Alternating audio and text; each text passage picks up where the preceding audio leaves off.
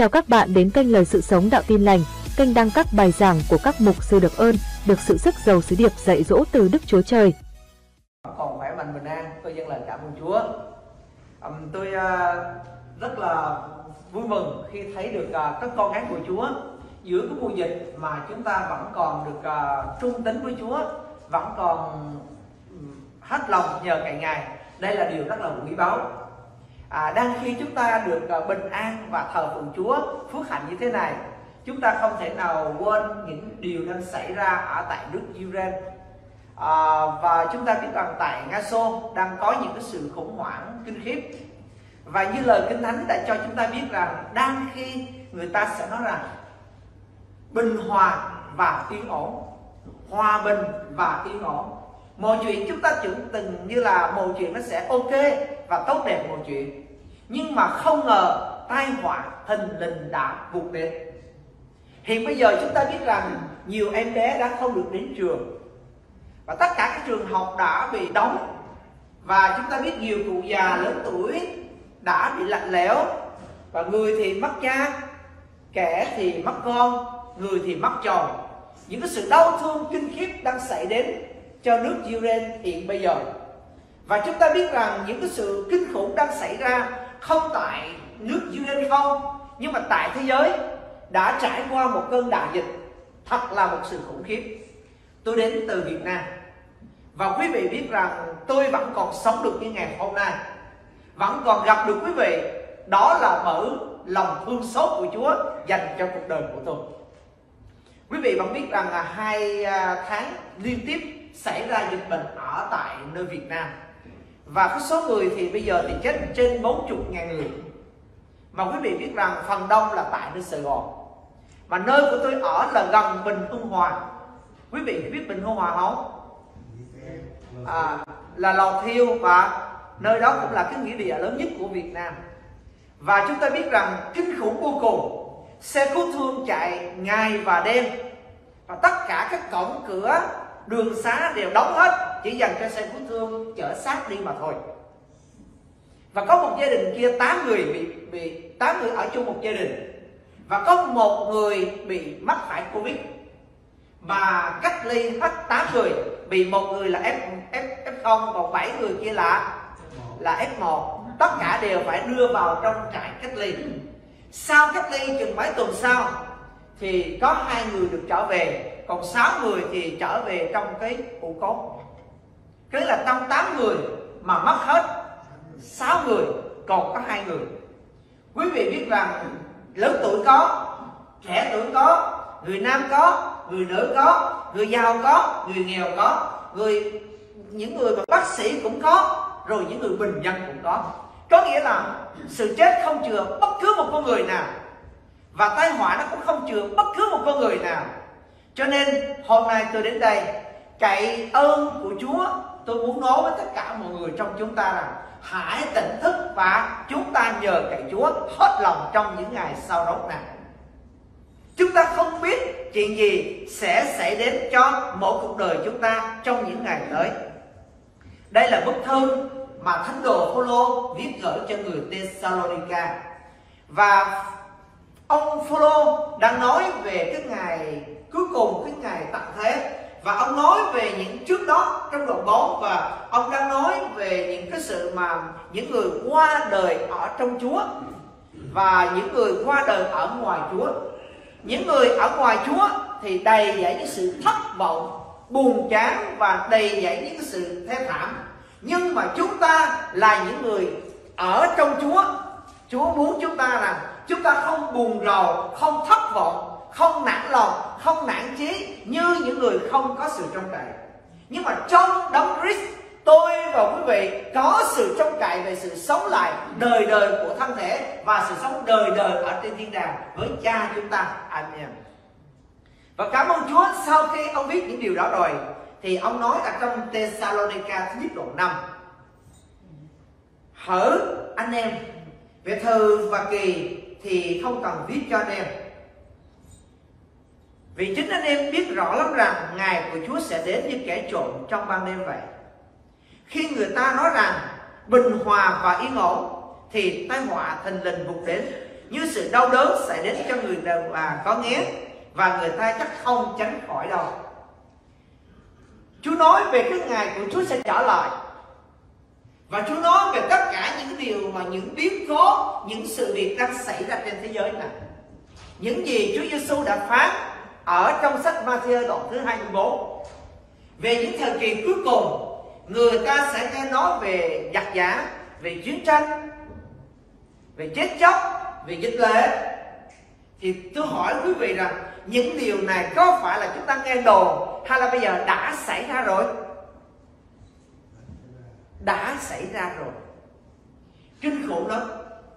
Tôi cũng đã nói về cái sự việc đang xảy ra cho Việt Nam chúng ta trong mấy tháng trước, quý vị biết rằng sống ở trên đất mà như là đang sống trong hỏa ngục vậy. Quý vị là những người đang ở trong thời kỳ mà gọi là những năm mà của Việt Nam mà sau ờ, 10 năm gọi là 10 năm giải phóng á, thì quý vị biết sống trong thời kỳ đó, quý vị đã khó khăn. Nhưng mà quý vị biết rằng vừa rồi chúng tôi đã trải qua những thời kỳ không khác gì những ngày đó. Người ta bảo là có tiền thì mua tiền cũng được người ta bảo là có tiền thì có tất cả. Người ta nghĩ là như vậy. Nhưng mà vừa rồi, ở tại Việt Nam, có tiền mà không mua được một bó rau muống. Có tiền, quý vị muốn có một thức ăn ngon cũng không được. Quý vị biết tại sao mà không mua được không? Tất cả xe cộ đều bị cấm hết, không cho chạy. Mọi đường phố thì người ta rào hết, không cho ra khỏi nhà. Và các chợ búa thì những cái chợ truyền thống đều là đóng cửa hết. Và những người nông dân thì sản xuất ra nào là thanh long, nào là nhãn, nhiều thức ăn lắm. Nhưng mà không thu hoạch được vì không cho ra ngoài đồng làm sao thu hoạch. Mà lỡ có thu hoạch được á, thì cũng không cho chở lên thành phố làm sao mà đem lên. Ở dưới quê thì thanh long bỏ bừa bãi đến nỗi mà cho bò cho ăn rồi đem đổ vào sông không hái luôn, người ta chặt bỏ còn ở trên thành phố thì không có để mà ăn. Quý vị biết người ta cần những viên thuốc tây mà không có để mà sử dụng. Ôi kinh khủng lắm quý vị. Bây giờ tôi nói thì quý vị có thể nghe thì à, không có ừ, tưởng tượng ra như thế nào. Nhưng mà nằm trong hoàn cảnh đó quý vị biết rằng à, mục sư Nguyễn Văn Hòa đã đến đây giảng quý vị còn nhớ không? À, ông cũng còn trẻ ông lớn hơn tôi có mấy tuổi là thôi. Nhưng mà cũng khi đối diện với covid ông cũng không qua khỏi và ông đã về Đức Chúa rồi. Và mục sư ờ, Phạm Phú Sơn, nhỏ hơn tôi 6 tuổi, cũng về Đức Chúa rồi.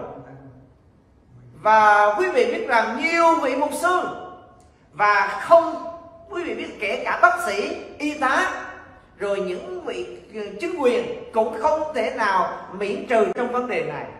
Cho nên phần phần lần nữa, Chúa dạy mọi người cho chúng ta về tinh thần tỉnh thức chúng ta tỉnh thức vì Chúa Giêsu ngày phán với chúng ta ở trong sách Matthew đoạn thứ 25 tôi đọc cho quý vị nghe trong sách Matthew đoạn thứ 25 và Chúa Giêsu đã phán bảo trước hầu cho mỗi người trong chúng ta có thể sẵn sàng. Tôi đọc cho quý vị nghe trong Matthew đoạn à, thứ 25 câu số 13 vậy hãy tỉnh thức vì các ngươi không biết ngày cũng không biết giờ. Matthew đoạn 24 câu số 42 Vậy hãy tỉnh thức vì các ngươi không biết ngày nào Chúa mình sẽ đến Thật sự Chúng ta sống ngày hôm nay mà không biết chuyện gì xảy ra cho chúng ta trong ngày mai. Trước đó thì người ta cũng hay khoe về bằng cấp, người ta khoe về ờ, kỹ thuật chuyên môn, người ta khoe về trình độ, người ta khoe về tài sản. Thi nhau mà khoe với nhau và mỗi người cùng à, lấy một cách để bày tỏ những cái sự thành công và cái sự à, à, thịnh vượng của mình. Nhưng mà trong khi mùa dịch đã xảy đến thì tất cả những cái điều đó người ta chỉ để qua một bên. Và cái điều người ta cần nhất bây giờ đó là sức khỏe và sự sống. Cho nên sau cơn đại dịch mà gia đình nào vẫn còn cha còn mẹ còn vợ, còn chồng, còn con, còn cái, đó là gia đình nó đại phước rồi nha quý vị.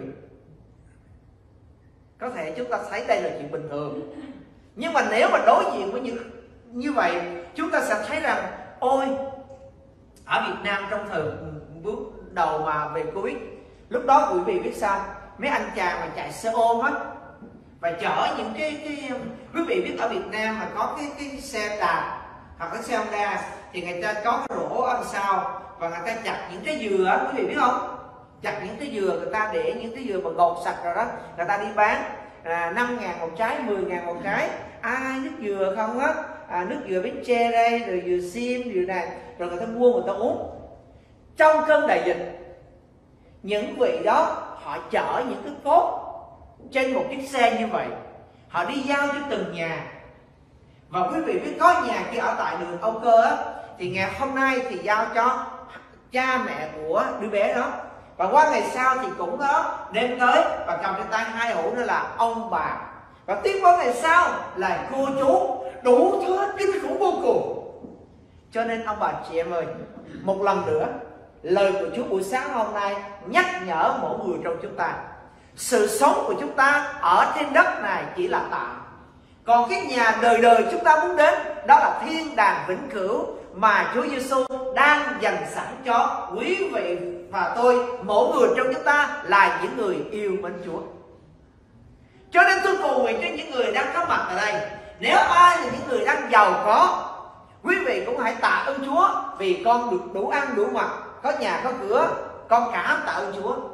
Còn những người nào không có nhà, đi thuê nhà, tôi cũng cầu nguyện cho quý vị cũng tạ ơn Chúa thỏa lòng. Vì con biết rằng ở đất này con không có một căn nhà, nhưng mà con sẽ có căn nhà đời đời, mà không phải do tay con người làm ra, mà do chính Đức Chúa Giêsu ngài đang dựng. Và ngài phán rằng, ở trong gian đoạn 14 từ câu 1 đến câu số 3 rằng lòng các ngươi chớ hề bối rối. Hãy tin Đức Chúa Trời, cũng hãy tin ta nữa vì trong nhà cha ta có nhiều chỗ ở bằng chẳng vậy, ta nói cho các con rồi. Ta đi và sống sẵn cho các con một chỗ. Khi ta đã đi và sống sẵn cho các con một chỗ rồi, thì ta trở lại để đem các con đi với ta. Hầu cho ta ở đâu thì các con cũng ở đó. Chúa Giêsu ngài hứa rằng, ngài đi trước, ngài chuẩn bị cho chúng ta một chỗ ở. Và khi mà ngài đi, ngài chuẩn bị xong rồi rồi ngài chắc chắn sẽ trở lại có năm sự việc mà Chúa Giêsu cần phải thực hiện là Chúa Giêsu phải giáng sinh để đền tội cho con người. Chúa Giêsu phải chết trên thánh giá để đền tội cho chúng ta. Và Chúa Giêsu phải sống lại trong sự vinh quang. Và Chúa Giêsu thăng thiên về trời, chuẩn bị chỗ ở đời đời cho chúng ta. Rồi Chúa Giêsu sẽ tái lâm, đưa chúng ta về nơi thiên đàng của Chúa. Năm sự việc mà bốn sự việc đã xảy ra rồi. Chúa Giêsu giáng sinh, Chúa Giêsu chết, Chúa Giêsu sống lại. Chúa Giêsu thăng thiên về trời đã xảy ra. Còn một điều cuối cùng, Chúa Giêsu sẽ tái lâm. Chúa Giêsu sẽ trở lại. Đây là các sự việc mà cả cơ đốc nhân trên toàn thế giới đang mong đợi. Mà ngày đó khi nào xảy ra, Chúa nói rằng khi các ngươi thấy những cái điều như là dịch lệ, như là chiến tranh, như là sự thù hận, rồi nói về tất cả những dịch lệ, rồi à, động đất rồi những điều đó đang xảy ra đạo đức bị suy đồi rồi rít giả tiên tri giả. Rồi những tà giáo đã xảy ra khắp mọi nơi để báo cho chúng ta biết ngày và giờ Chúa Giêsu sắp sửa trở lại. À, bố vợ tôi là một sư Nguyễn Khắc Nhẫn. Ông cùng tuổi chung với ông mục sư chủ tọa Phan Công Văn tại nơi đây. Và bố vợ tôi rất là thương ông mục sư tại nơi đây hay nhắc về ông. Và mỗi lần cầu nguyện cho ông thì bố vợ tôi hay khóc. Vì thấy được cái tình thương những người đồng tuổi, rồi cùng chức vụ, rồi à, hình như là cùng trường rồi sao đó, trường sinh thánh. Cho nên rất là quý. Và cho nên bây giờ thì à, bố tôi mong muốn rằng lần này khỏe mạnh, sẽ cùng đi qua đây với tôi để thăm ông mục sư vân, một lần nữa và thăm hội thánh. Nhưng mà bây giờ thì, bây giờ ông không còn ở đây nữa. Ông đã trở về với chúa và đó là một sự mất mát đối với gia đình chúng tôi. Nhưng mà tạ ơn chúa, chúng tôi biết rằng ở trong chúa, chúng ta có sự hy vọng. Chúng ta trông mong và chúng ta sẽ có ngày gặp được ông trong ngày Chúa Giêsu trở lại và hết thảy chúng ta cùng sẽ gặp tất cả các thánh đồ, những người yêu với Chúa để rồi chúng ta cùng ở với Chúa đời đời trên thiên đàng cho nên điều tôi đang khích lệ đây là mỗi người trong chúng ta hãy nhờ ơn Chúa mà tỉnh thức. Kinh thánh nói tiếp, khi người ta nói rằng bình hòa và yên ổn, thì tai họa thình lình vụt đến. Như sự đau đớn sẽ đến cho người đàn bà có nghén, người ta chắc không tránh khỏi đâu. Tai họa có ai biết trước được đâu? Có ai biết trước được đâu? Những người ở bên Ukraine đang sống trong sự hòa bình họ vẫn đang buôn bán làm ăn, cưới gả. Và họ vẫn đang à, có những cuộc sống bình thường, sinh hoạt vậy. Cũng có một số người đi nhà thờ, lại cũng có một số người đi ăn nhậu. Cũng có một số người chung thủy với vợ, với chồng. Cũng có một số người đang ngoại tình. Có một số người thì à, đang vui đùa với con cái. Cũng có những kẻ thì đang bạo hành trong gia đình. Đủ chuyện xảy ra. Họ nghĩ không có chuyện gì đâu nhưng đùng một cái, bom đạn đã ném xuống. Nhà cửa của họ đã bị tan thành trường học con em của họ không còn nữa. Rồi công việc làm ăn của họ đã mất mát. Tinh thần của họ bị khủng hoảng. Đất nước thì đang bị tiêu tàn. Một lần nữa nhắc cho chúng ta biết được rằng, vật chất của cải danh vọng trên đời này không thể nào là một nơi vững chắc cho chúng ta ngoài Đức Chúa Giêsu. Chỉ ở trong Chúa Giêsu, trong lời hứa của Đức Chúa Trời, trong niềm hy vọng nơi kinh thánh, chúng ta mới có lời hứa chắc chắn được quý vị ơi. Chúa Giêsu thì kêu gọi chúng ta tỉnh thức thì chúng ta hãy tỉnh thức. Vì trong những ngày sau đó này, người ta ham mê tiền bạc hơn là yêu mến lời của Chúa Trời.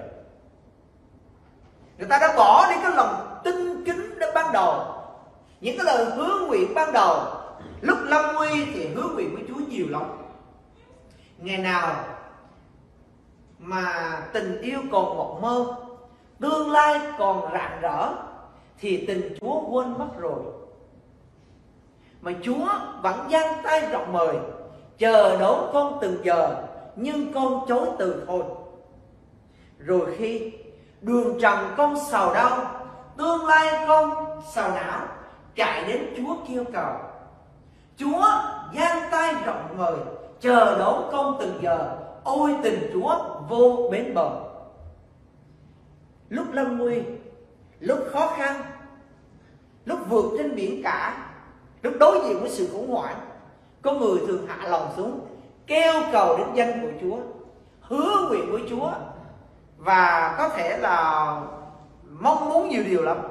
Nhưng mà khi con người đã thành đạt con người đã có một chút đỉnh rồi bây giờ con người ta không còn nhờ cậy nơi chúa nữa, mà bắt đầu nhờ cậy nơi vật chất, nhờ cậy nơi của cái, nhờ cậy nơi sức lực, nhờ cậy nơi danh vọng, nhờ cậy nơi bằng cấp, nhờ cậy nơi địa vị, và nhờ cậy nơi sức riêng của mình.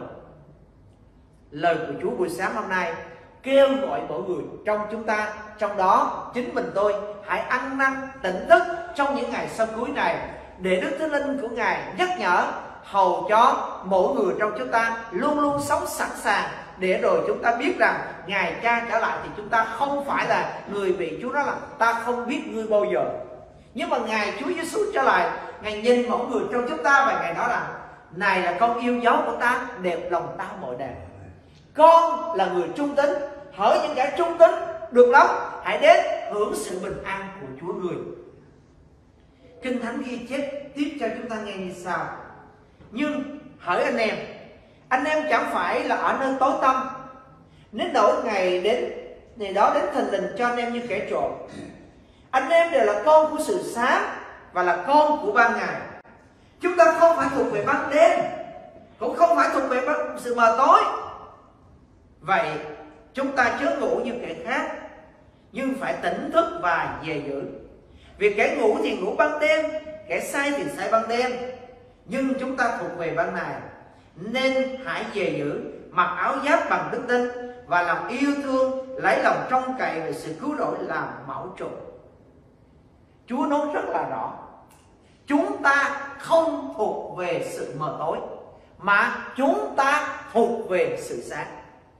Sự tối là đang nói về thế gian, là đam mê, là họ bị mù mẫn họ đang đi vào con đường tội lỗi họ hơn thua họ danh vọng và có thể là hận thù. Cay đắng họ nói là sống bỏ bụng chết mang theo. Rồi người ta hơn sống với nhau trong cái sự mà à, mưu mô sở quyền sống trong sự say xỉn rồi che chén rồi dâm loạn tội lỗi. Nhưng mà chúng ta đây là những con người thuộc về sự sáng. Chúng ta thuộc về đấng Christ. Hỡi những người nào còn vợ hãy yêu thương vợ mình như đấng Christ đã yêu một thánh quý vị biết tội lắm. Mấy người ở dưới cà mau à để lên bình dương á hai vợ chồng chở thêm hai đứa con lên bình dương đi làm ăn. Đi lên đến thuê một cái phòng. À, thường thường ở việt nam chúng tôi thì thuê cái phòng nhỏ vậy thôi. Cái phòng trọ nhỏ vậy thôi. Trong cái phòng đó ở chỗ kia là cái nhà vệ sinh. Chỗ này là cái bếp nấu ăn. Chỗ này là ngủ. Chỗ kia là để xe gắn máy ban đêm mỗi người chỉ nằm trong một chiếc chiếu như vậy mà ngủ bốn người. Họ ngủ thẳng người vậy mà không được lăn qua lăn lại. Nếu lăn qua là đụng bên này lăn kia là đụng người khác cho nên người kia mất giấc ngủ. Họ ở nơi đó. Nhưng mà trong sự khó khăn như vậy họ vẫn chung thủy họ khó khăn là chịu khó họ làm ăn. Nhưng mà khi mà dịch lệ đến họ không được ra khỏi phòng. Nếu ai ra khỏi phòng thì bị phạt 3 triệu đồng. Và đối với Việt Nam 3 triệu đồng đó, là mất mất khoảng 140 đô ở đây mà quý vị lương của họ tháng chỉ độ khoảng chừng 6 triệu. Mà phạt một lần như vậy là 3 triệu là mất hết nửa tháng lương rồi. Tiền đâu mà trả tiền phòng làm sao mà sống? Họ ở trong cái phòng như vậy họ chặt chội. Họ bị khủng hoảng tinh thần. Họ bị đói khát. Rồi họ bị thiếu thốn. Rồi họ bị tật bệnh đủ thứ hết. Thì cuối cùng nhiều người chết vì dịch lệ.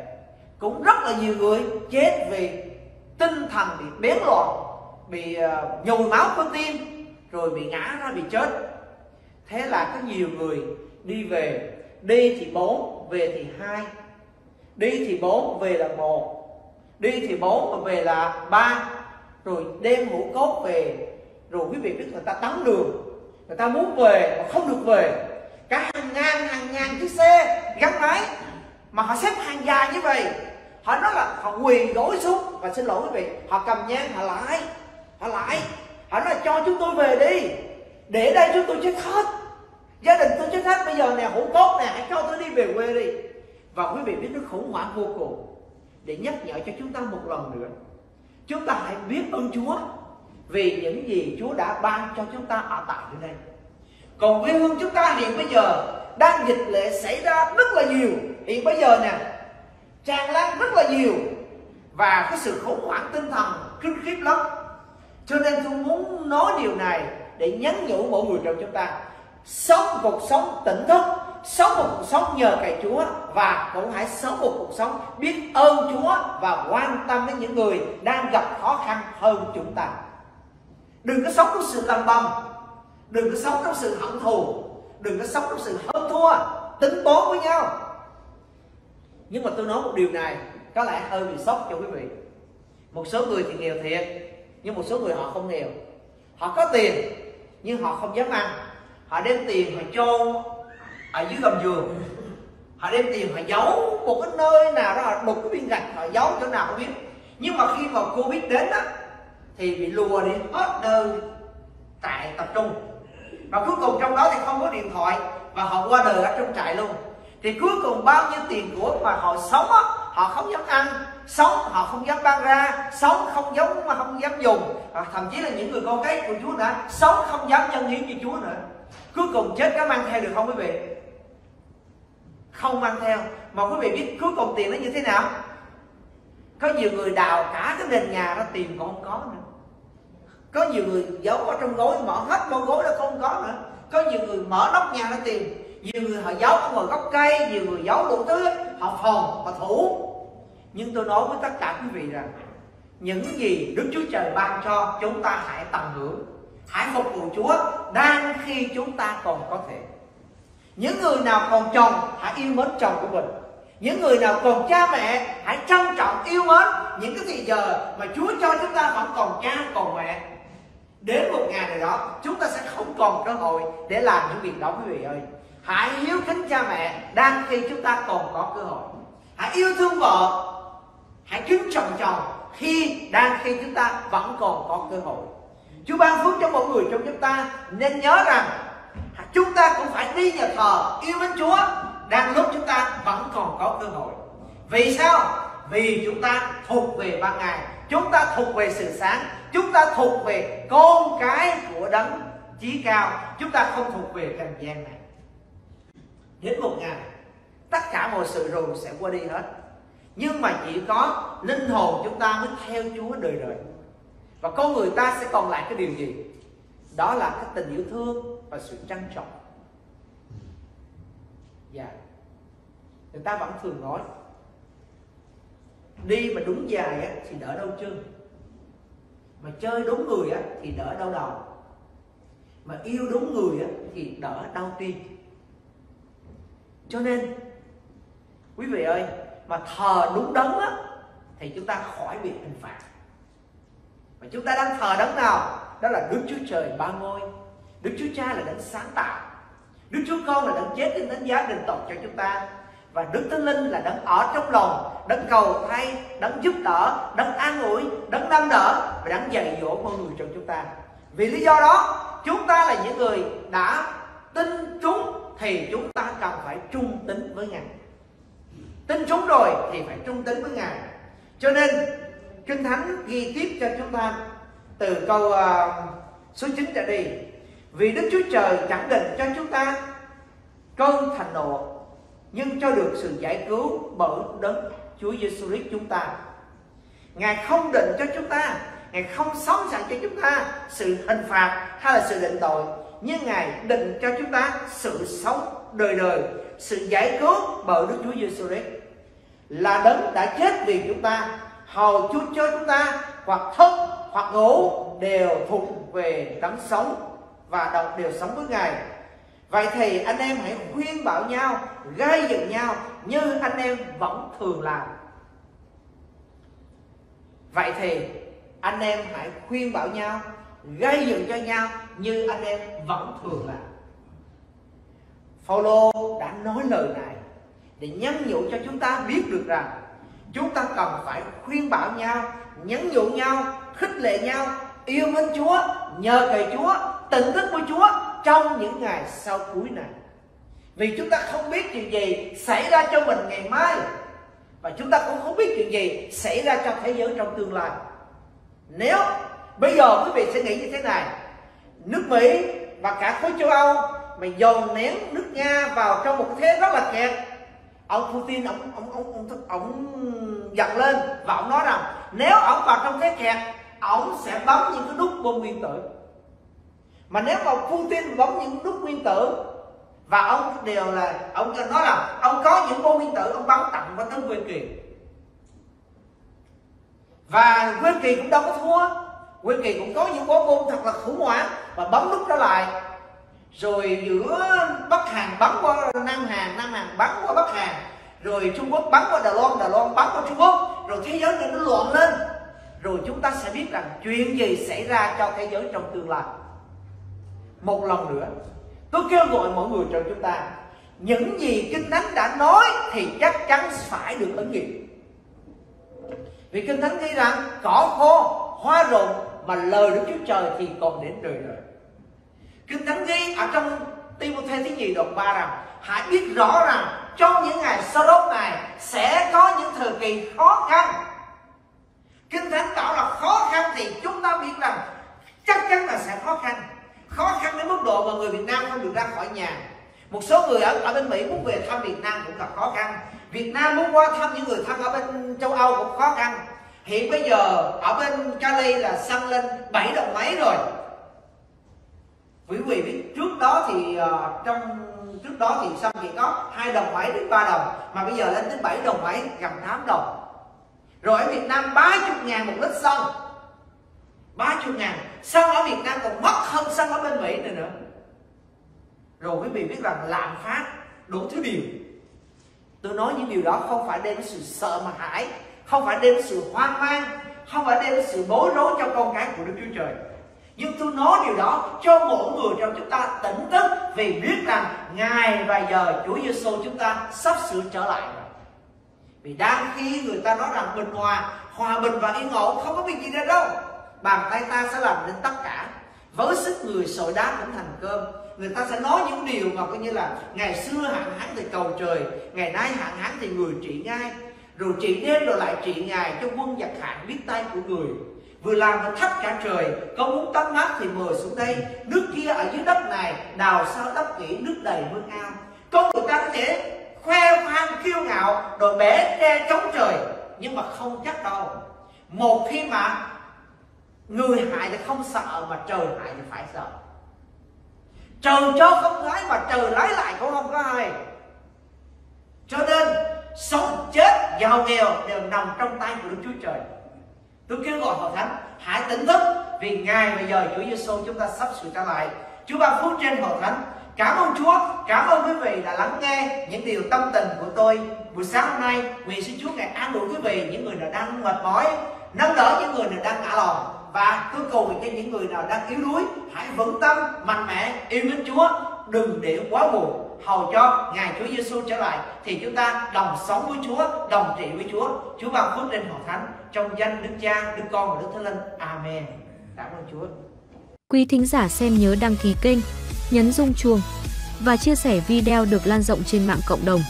Xin thánh linh động chạm anh chị em được biến đổi mỗi ngày càng giống Chúa hơn. Hẹn anh chị em video tiếp theo. Chúa yêu hết thảy anh chị em.